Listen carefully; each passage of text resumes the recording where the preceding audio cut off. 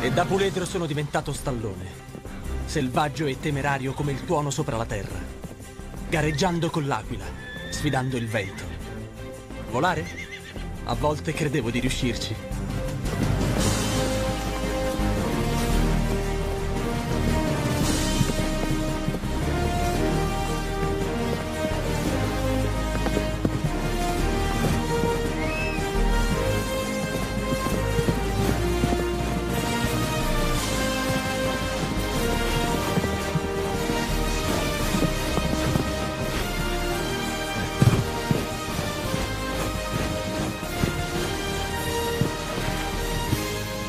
Come mio padre prima di me, diventai il capobranco del Cimarron.